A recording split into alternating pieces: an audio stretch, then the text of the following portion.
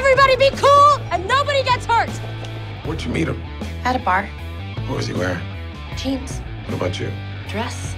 You are an incredible liar. Right? Just say you're sorry. I am one sorry bitch. I'm sorry you're too stupid to understand basic human decency.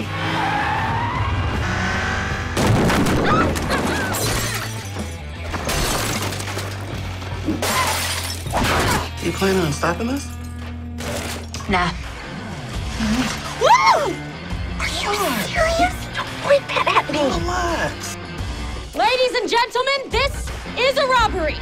We're gonna burn this patriarchy down! Woo! And oh my God, Heather, I'm not gonna say it again. Get the hell off your phone. She's gonna cut his penis off. No, no, no, no, no, no, no. She's gonna cut his penis off.